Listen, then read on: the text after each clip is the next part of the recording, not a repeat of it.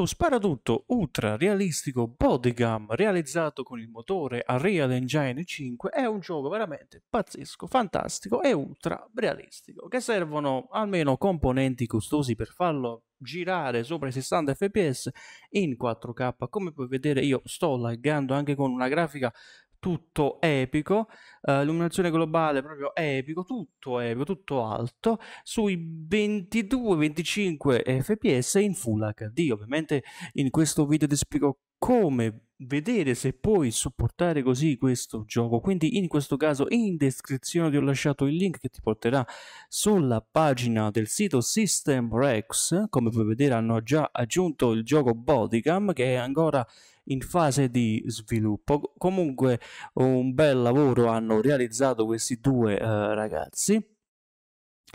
Andiamo così a inserire il nostro processore. Io vado a mettere il mio Ryzen 5 3600. Ho già realizzato dei benchmark con questi componenti qua e più o meno fino a 40-45 fps siamo riusciti ad arrivare pure oltre i 50 fps con la 1660 super ed eccola qua no questa è la TI 660 GeForce eccola qua RAM 32 sistema operativo Windows 11 64 bit faccio compare ed eccoli qua io il gioco lo supporto, però gli FPS sono questi, ok?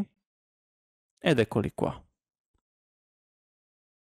Un altro sito che puoi utilizzare, Can You Run It, che è veramente un ottimo sito, però ancora non c'è Bodycam, ma prima o poi uscirà.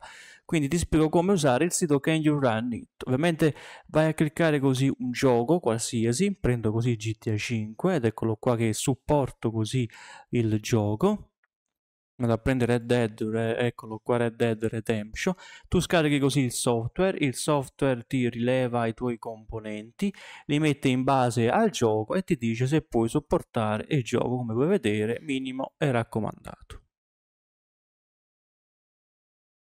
Quindi per altri problemi ancora puoi commentare sotto al video, puoi anche guardare gli altri benchmark che ho realizzato con la 1660 Super, il processore Ryzen 5 3600 e vedere tu stesso quanti fps riesco a fare. Ovviamente gli fps sono veramente bassissimi, quindi bisogna per forza fare un upgrade.